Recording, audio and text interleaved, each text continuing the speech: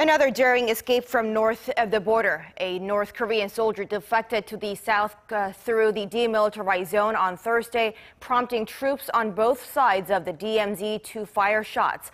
It's the second such defection in six weeks, and it's led many to ask whether these defections point to growing instability within the ranks of the North Korean military. Our Oh Jung-hee has this report.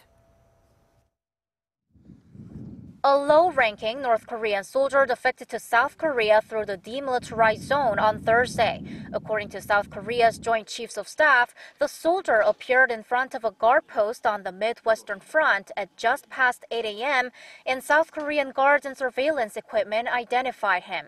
He was safely secured, and now related institutions will be investigating why and how the soldier crossed over. He's known to have brought his own AK 47 rifle.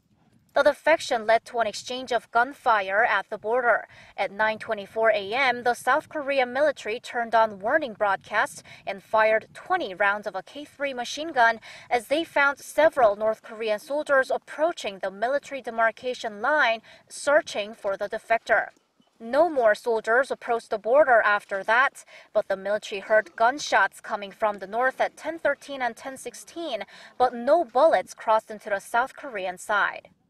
A total of four North Korean soldiers have defected to the south so far this year, and Thursday's case comes just a month after a North Korean soldier crossed through the joint security area.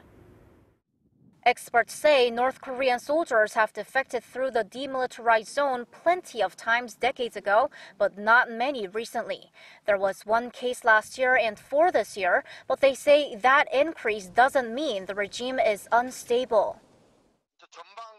I think this is what just happens intermittently with soldiers who've caused problems within their units or who've been affected by South Korea's anti Pyongyang broadcasts at the border.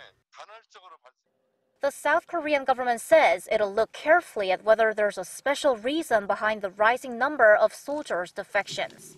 Oh Jung-hee, Arirang News.